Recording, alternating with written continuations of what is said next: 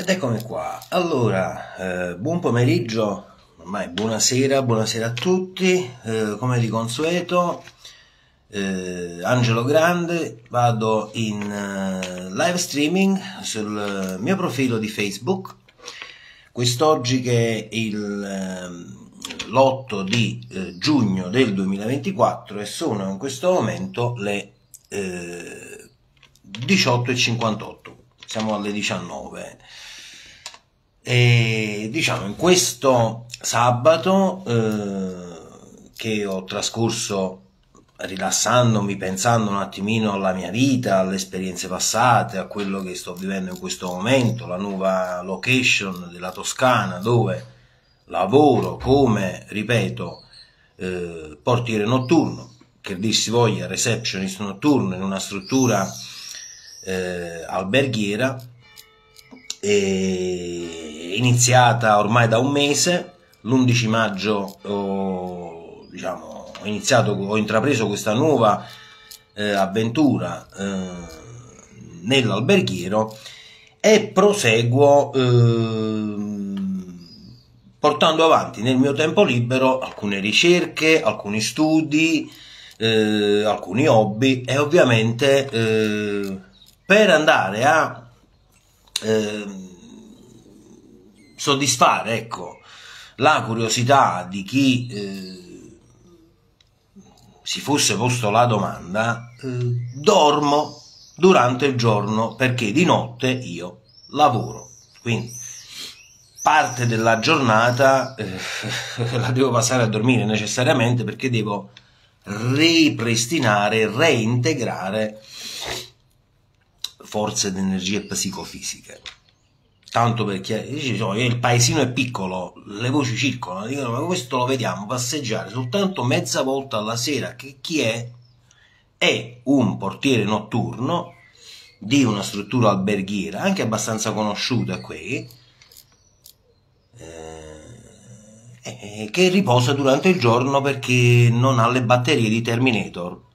Quindi devo in un certo senso, ecco, anche Detto questo, come introduzione a questo mio bel video che sarà credo piuttosto lunghetto perché ho eh, diverse ore ancora prima di iniziare il mio turno che ripeto 6 giorni su 7, 6 notti su 7 inizia alle 11 poi minuto prima quarto d'ora prima ecco un pochino prima mi, mi ci presento io sul lavoro per essere sicuro che non sia venuta giù la struttura, ecco, nel senso che non sia capitato niente di strano che possa poi compromettere eh, l'ordinario svolgimento delle mie funzioni notturne.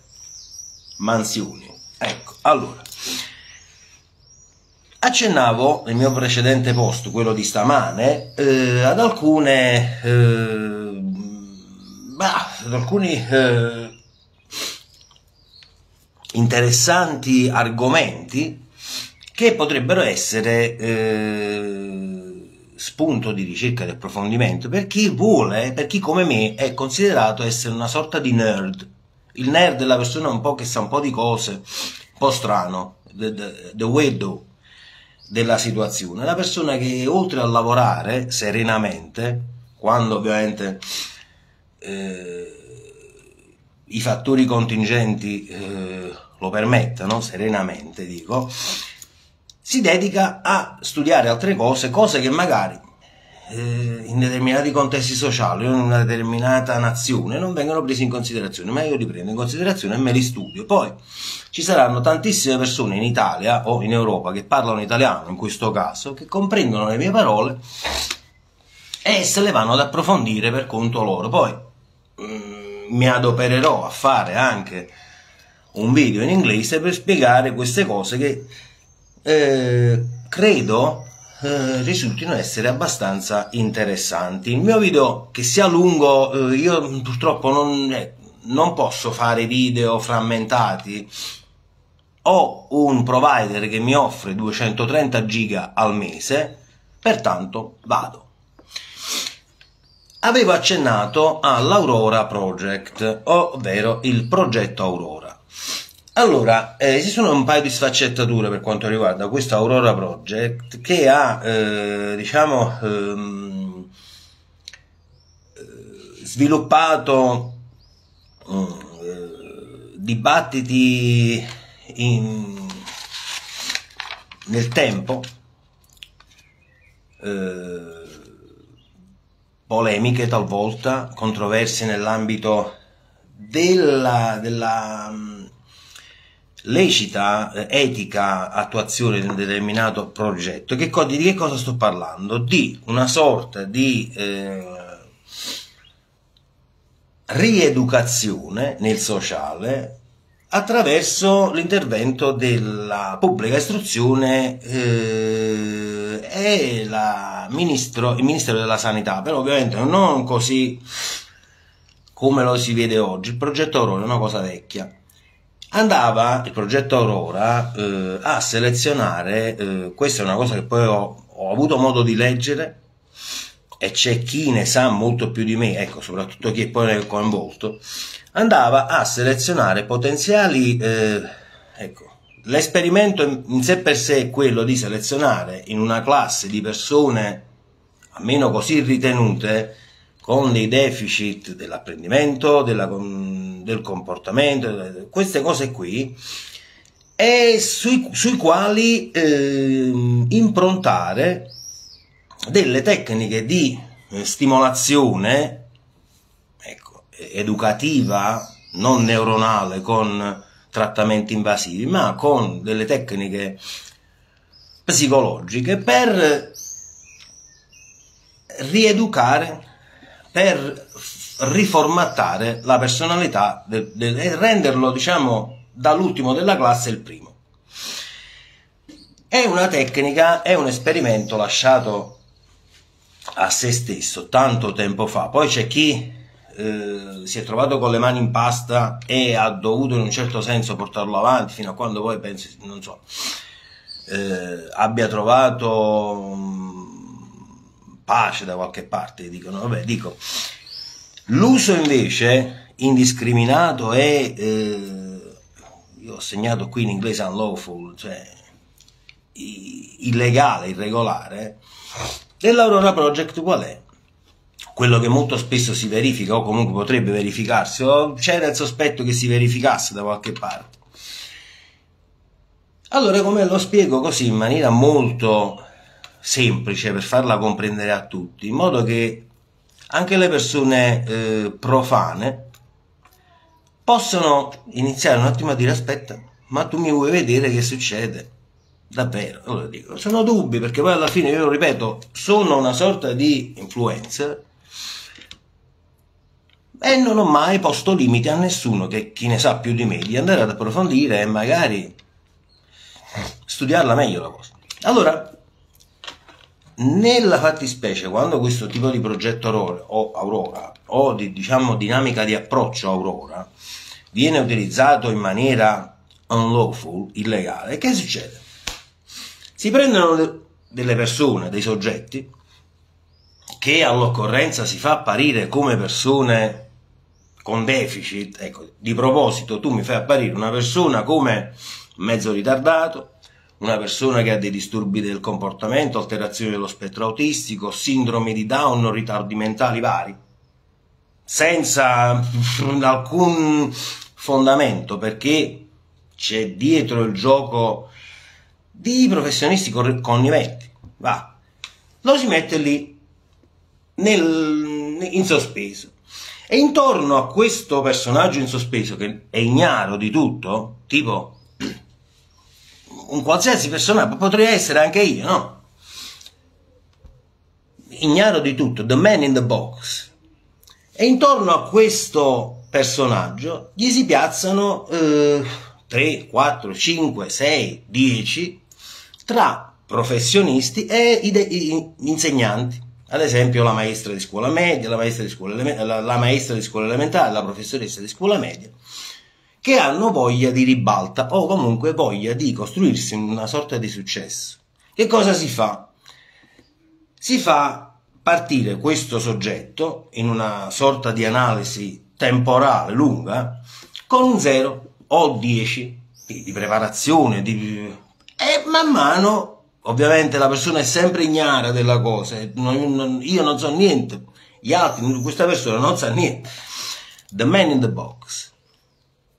E di tanto in tanto questi professionisti, queste maestre che cercano fama e risultati illeciti naturalmente, non puliti, stilano delle, relazio- delle relazioni, dei rapporti, dice no, dopo un anno questa persona mi ha portato dei risultati perché io gli ho fatto raggiungere questi risultati, quando in, ver- in verità la persona ignara di tutto questo gioco posizionata in questa scatola magica, the, the man in the box, continuava a fare il proprio lavoro e magari a studiarsi le proprie cose per conto suo, frutto del proprio intelletto, già lì di suo. E nel tempo la cosa continua. E questo è quanto praticamente. Poi il primo anno, il secondo anno, il terzo anno, tre anni e sei mesi, si sviluppano dinamiche dove a me è capitato, ad esempio, dicevo, di essere ehm, stato in Inghilterra per lungo tempo. E di aver lavorato senza mai ovviamente frequentare l'università sono ritornato in Italia e andai ad un CAF vado ad un CAF dico mi, mi fa per piacere la, mm, la procedura per avere l'ISEE vado, vado a controllarmi questo documento fiscale l'ISEE e mi risulta un DAD, DAD, che sarebbe una didattica a distanza. Dico, vuoi vedere che tra le tante cose, i trucchetti vari che si adoperano per fregare il governo, ci sono anche queste cose qui relative a questa sorta di progetto Aurora dove una persona la si fa figurare come un mezzo idiota magari senza istruzione, e intorno a questo povero personaggio che viene messo in una scatola magica, ignaro di tutto, gli si gioca. Professionisti, maestrucole che tentano di avere, diciamo, un, un proprio svezzamento in età ormai già adulta e eh, trapassata. Intendo. Poi io, questi sono accenni di ricerca che io faccio perché mi diverto tanto perché laddove poi dovesse spuntare fuori qualche cosa, ovviamente mm, per indagini portate avanti da inquirenti, guardia di finanza, polizia, carabinieri, Interpol, bah! non sono certo io che mi vado a controllare i database e determinate connessioni sul territorio italiano, europeo, internazionale, non sono io. È quello che fa, non si succede. E allora, questo l'abbiamo detto. Allora, volevo eh, poi accennare a qualcosa così molto molto veloce perché eh, chi ha avuto modo di visitare il mio canale YouTube c'è una piccola playlist, ovvero una sezione, una, una section dedicata alla gestione aziendale dove eh, avevo fatto anche una sorta di tutorial per quel gestionale alberghiero Zucchetti Ericssoft Swift, uh, Suite numero 5. E mi dedicavo un attimino, ecco, a, ecco, non sono mai stato un general manager, oh, però ecco, mi sono studiato alcuni parametri aziendali, alcune dinamiche aziendali, dei, dei procedimenti interni di azienda e li ho resi pubblici secondo il mio punto di vista, con i miei modi un po' così simpatici. E tra i tanti video che ho messo su YouTube, che però al momento sono privati, ovvero non pubblici, visibili a tutta l'umanità, in qualsiasi punto del globo, ce n'era uno in particolare che parlava dello scapegoating, ovvero del ruolo di scapegoat. The scapegoat role, che è una cosa che ho coniato io l'anno scorso a Cortina. Che in che cosa consta questo scapegoat rule, sto facendo lo schemetto e io non vado a leggere il gobbo, porto degli appunti perché il discorso è lungo, non è che posso, essere un Robocop un Terminator è difficile al giorno d'oggi. Che cosa succede? Eh, in determinati ambiti aziendali, quando molto spesso si ha a che fare con la clientela, con... Eh, ecco, fornitori, eh, rappresentanti, persone che possono presentare, possono presentare eh, rimostranze, mh, mm,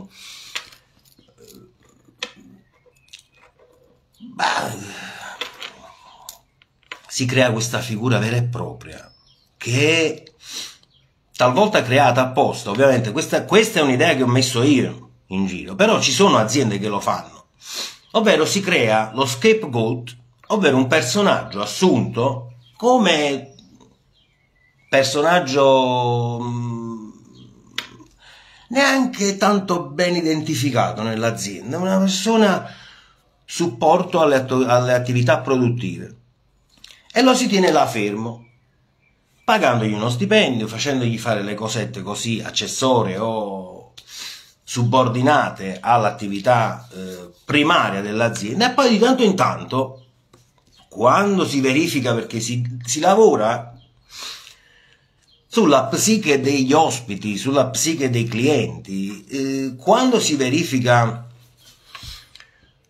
mm, un momento di insoddisfazione da parte di un cliente nel servizio offerto dall'azienda. C'è un, come dire, un reclamo. L'azienda lavora sulla psiche dell'ospite del cliente perché che cosa vuole il cliente in quel momento quando è incazzato nero vuole la soddisfazione che una persona venga punita, richiamata. Si prende questo personaggio, lo scapegoat, o la scapegoat, dipende, poi o maschio o femmina può essere, dipende, perché dipende dalle situazioni. Eh. E dinanzi al, al cliente, all'ospite, al, mm, al rappresentante, al, al, funzionario, chiunque gli si fa la ramanzina, magari anche in maniera molto colorita, in modo tale che già un 70% della fiamma interna della persona arrabbiata si, si, si, si placa, si abbassa un attimino, il cliente insoddisfatto di un servizio offerto dall'azienda vede che la sua diciamo, richiesta di trovare un colpevole e dargli tutte le colpe e di punirlo è stata soddisfatta e si calma. Poi ovviamente l'azienda continuerà a dire guarda sì comunque noi però comunque questo rimborso non te lo possiamo dare. Quindi accontentati, ti diamo un complimentary drink. Salute. E tutto finisce lì. Cioè c'è la persona che si prende la ramanzina, che paga per una, diciamo, un gioco aziendale, vasto gioco aziendale che succede in tante realtà del mondo e la persona comunque poi se ne va, come si suol dire in una determinata realtà italiana, con una mano davanti e con una mano sul di dietro. Questo è quanto. Questa è una cosa che ho studiato io perché esiste. Poi ci sono le persone intelligenti che in un'azienda le utilizzano e me le rubano poi in un certo modo le idee eh? E le utilizzano a vantaggio delle aziende. Perché poi io, ripeto, non è che perché sia qui mi stia, eh, stia facendo riferimento alla situazione attuale. Io queste cose qui di gestione aziendale ho iniziato a farle l'anno scorso a Cortina, ma ancora prima. Poi alcuni video dovranno essere, eh, li metterò pubblici, prima o poi. Per quanto invece concerne eh, il mio aiuto che voglio dare un pochettino alla collettività, ma anche dal punto di vista di supporto potenziali colleghi passati, futuri, presenti, amici nel mondo, ora parlo italiano, mi farò capire da una buona parte di popolazione che parla italiano, poi parlerò anche in inglese. Esiste una eh, app che non, non è che altro una piccola applicazione gestibile eh, da PC o comunque anche da, da quegli smartphone che ultimamente eh, si fanno apprezzare per avere delle caratteristiche molto avanzate. I smartphone che sembrano computerini portatili praticamente, si chiama WhatsApp Desktop. Che cosa succede con questo WhatsApp Desktop? La, la, da remoto, ecco, se, mh, ipotizziamo io ho il mio WhatsApp sul mio cellulare, c'è questa persona, terza persona che io neanche conosco, con il WhatsApp Desktop che magari dal computer utilizzando non la mia scheda SIM, ma i miei contatti della mia rubrica di WhatsApp, invia messaggi come se fossi io e poi li cancella. Beh, tanto è vero che talvolta capita, può capitare che si appaiano dei messaggi inviati da Tizio sul cellulare di Caio. Caio legge il messaggio, oh, Tizio mi ha mandato il messaggio e dice si presenta a questo posto e non c'è Tizio, c'è un'altra persona. Questo succede, talvolta lo si può mm, sviluppare questo tipo di sistema anche inviando semplicemente un messaggio. Poi queste sono cose che io non, non faccio, ma probabilmente mi sono trovato vittima indago comunque perché eh, in Italia eh, e in alcuni paesi indagare sulla propria vita senza infrangere la legge è legale. Io posso andare a fare domande sulla mia vita se facendo queste domande un'istituzione, un corpo di polizia o un'autorità di Stato scopre una magagna fatta alle mie spalle, problema è loro, non mio. Dico perché io sto, diciamo, cercando di portare avanti degli studi, delle ricerche e eh, lo faccio nel mio tempo libero dando dritte molto interessanti alle persone che magari potrebbero trovarsi coinvolte in una situazione del genere, quindi dicevo talvolta è meglio utilizzare gli sms piuttosto che whatsapp perché mentre whatsapp può essere utilizzato con whatsapp desktop L'SMS no. Questo qui è una, not una notifica. Volevo... Eh, mi piaceva quel, diciamo, riportare alla memoria di tanti italiani e persone straniere che vivono sul territorio italiano, volevo riportare alla memoria l'episodio della crisi di Sigonella. Qui siamo in Italia, poi chi volesse approfondire cosa sia, chi volesse andare a capire che cos'è la crisi di Sigonella, deve fare qualche passo indietro a qualche annetto fa e studiarsi questa cosa che, mm, ecco, laddove ci fosse qualche bella età di qualche persona che mm, per pura coincidenza mm, è stata così sfortunata che un tappo di sughero è andata di traverso qui siamo in Italia e per gli italiani e per gli stranieri ci sono le autorità che vagliano, che monitorano, che intervengono a tutela di potenziali vittime. Chiaro? Beh, spero di sì.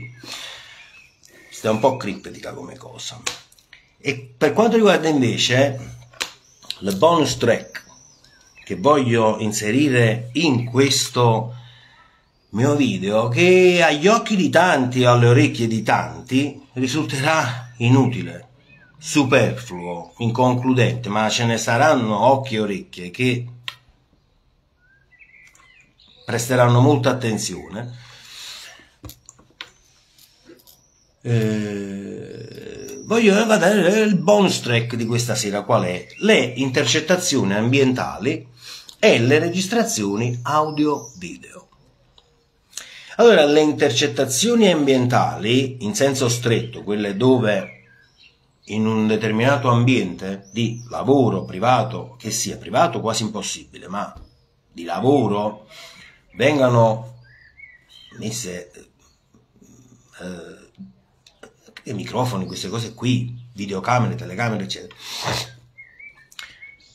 deve essere autorizzato dall'autorità giudiziaria. Non lo si può fare così in maniera arbitraria. per quanto riguarda le intercettazioni ambientali, ovvero io piazzo un microfono in un punto e me ne vado e da lontano ti ascolto. Questa è l'intercettazione ambientale, ovvero la microspia e, via dicendo. C'è bisogno dell'autorità giudiziaria che fa questo, la Procura della Repubblica che dà il via o a un, magistrato. Cosa differente invece è quando per legittima suspicione, quando per tutelare la propria sicurezza, incolumità, anche mh, mm, il potenziale rischio di una diffamazione in un ambiente sociale, culturale o professionale, la registrazione audio, purché io sia presente e alla conversazione, è legale. Non è altro che un'estensione della memoria di chi la pratica la registrazione. Io pratico una registrazione telefonica purché io sia presente nella conversazione telefonica perché è considerata dalla legge italiana un'estensione della mia memoria, come un, una micro SD che si mette nel cervello per ricordare quanti più particolari dettagliati della telefonata o della conversazione è possibile. Detto questo,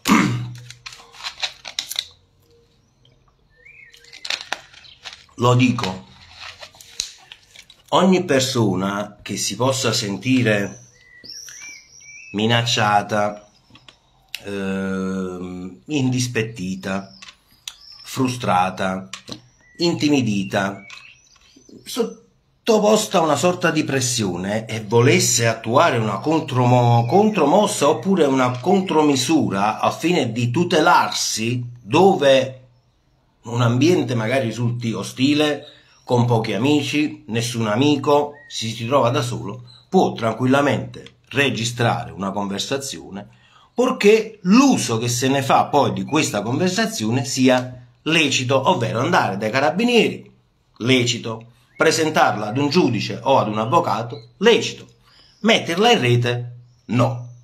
Questo è la piccola, bisogna imparare a studiare le norme del diritto italiano che sia civile, penale, per saperle poi mettere in pratica determinate cose. Laddove una persona si senta addirittura minacciato o comunque con la possibilità di essere aggredito fisicamente, quindi una violenza non solo psicologica o verbale, ma fisica, si può attuare anche la registrazione video e presentarla ai carabinieri, all'autorità giudiziaria, al tribunale, all'avvocato, eccetera, eccetera. Detto questo, il vostro angelo grande, io non sono poi tanto grande, ma sono comunque un angelo, poi dipende, bianco o nero, l'angelo è sempre un angelo, che ha dedicato questo tempo della sua vita a um, far capire ai personaggi che pensano losco che c'è sempre la legge, la giustizia e tante volte c'è il karma. What goes around comes around. Riflettevo su qualche cosa, credo, credo proprio di aver capito come è giunta quella firma falsa, ovvero copia e incolla, su un contratto in Inghilterra guarda caso tramite dei piccoli canaletti di, di, diciamo, di collegamenti vari tra Calabria, Campania, salivano su. Adesso mi trovo in un'altra regione e sto studiando anche qui. Ma se non per farmi dare un risarcimento per quella cosa che mi capitò a York, serve comunque a far capire che io le indagini le faccio bene, potenziali inquirenti, e che ci sono persone che hanno fatto qualche intrallazzo alle mie spalle. Occhio al video dove parlo in quattro lingue e mezzo, tre lingue e mezzo lì, dove parlo che stavo lì con la barba da quel posto dove mi rifugiai, che venni autorizzato a starci durante la pandemia, lì che stavo con le grucce, che avevo recuperato l'infortunio alla colonna vertebrale. E Parlo proprio di questo, senza SSP che sarebbe stato Toxic Pay, che magari avrebbe dovuto essere preso in considerazione in maniera diversa, senza compensation, ecco. Ma Angelo è ancora vivo a distanza di 5 anni, verso 4 anni, e va bene, poi ci sono così tanti ecco, casi nella vita dove gli haters continueranno a fare gli haters e i supporters dove oltre a continuare a fare i supporters inizieranno a capire che le cose che dico ma sono molto serie. Ecco, Auguro a tutti un felice sabato sera, sono in questo momento le 19.30, io ho ancora qualche oretta di tempo per prepararmi a questa nuova puntata. Ieri sera ho fatto la battuta, ecco, The, the Night Attendant, là, stavo così, facevo finta di fare la, la, la, il, la locandina di un film. Lo voglio dire, io non ho eh, nessuna liberatoria da farmi firmare se io decidessi un giorno di fare l'attore o il cantante. Rispetto ai contratti che ho sottoscritto con determinate aziende, ma non c'è nessuno che può giostrare, modificare, alterare, manipolare o gestire le mie performance. Se io un giorno dovessi incontrare per dire Quentin Tarantino, ci parlerei di mio, non ho persone che gestiscono queste cose sotto forma di cura di interessi, mai fatto, mai esistite queste persone. Diffidate da persone che magari si presentano alla vostra porta e dicono, eh, quello lì canta per noi. No, io non canto per nessuno, io sono un coverist e canto per me stesso. Chiaro? Poi se di storie strane io ne ho sentite tante, meglio farle capire queste cose a quante più persone possibile, soprattutto le autorità.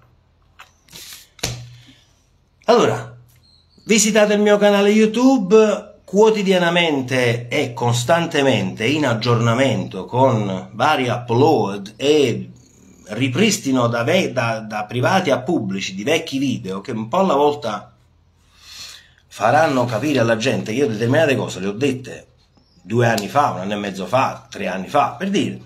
Questo qui è il mio follow button su Facebook. Nella descrizione di questo canale, ovvero YouTube channel, ci sono tutti i link dei miei social network.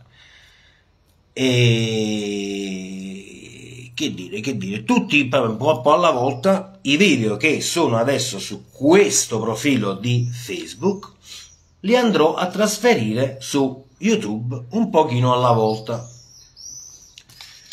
Detto questo, non credo di aver dimenticato qualcosa e seppure fosse, lo andrò ad aggiungere nel mio prossimo video. Essendo in Toscana, essendo in Toscana, mi ritorna alla mente quella persona che io eh, diciamo, emulavo così goliardicamente nei miei video a Cortina, quando quella persona io ho l'impressione che tu mi stia guardando, eccetera, eccetera, eccetera. È una persona che, che, che, che ha fatto indagini particolari, una persona che si formò a Quantico, una persona competentissima, dico. Io ho l'impressione che tu mi stia guardando, eh dovete fare molta attenzione, molta attenzione. Al mio prossimo video sono Angelo Grande e buon weekend.